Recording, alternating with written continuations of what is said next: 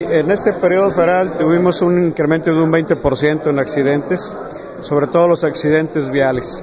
Entonces decirte que todos están asociados con alcohol, con exceso de velocidad y con una falta de capacidad de maniobra de los, eh, conductores. Pues el uso de la motocicleta se ha convertido en un verdadero problema de salud pública y no solamente en Aguascalientes, ya es un problema a nivel nacional y yo diría hasta a nivel mundial. Yo creo que ahorita un 70% de los accidentes ya son puro motocicleta. ¿eh? Mira, hay dos cosas importantes que hay que hacer. Primero, seguir informando a la población del alto riesgo que tienen al utilizar una motocicleta. El, el exceso de velocidad no se aprecia, se pierde fácilmente y por otro lado no están protegidos.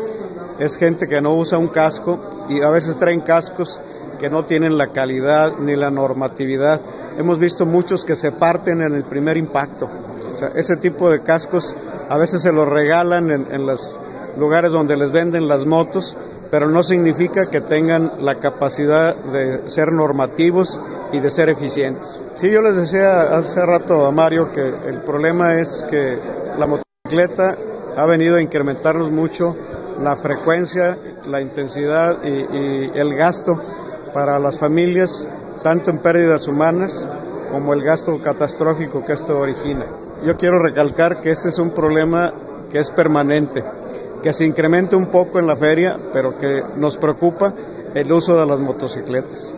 Y sobre todo porque cada vez hay muchachos de menor edad utilizando este medio de transporte. Los papás se los regalan a los 15 años como regalo de 15 años.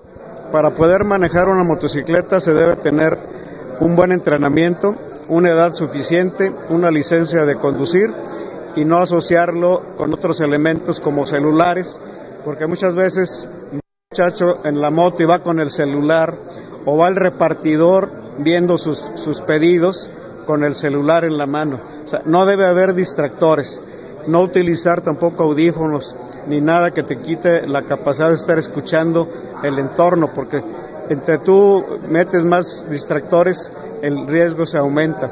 Entonces, tengamos mucho cuidado al manejar y, y sobre todo al manejar las motocicletas.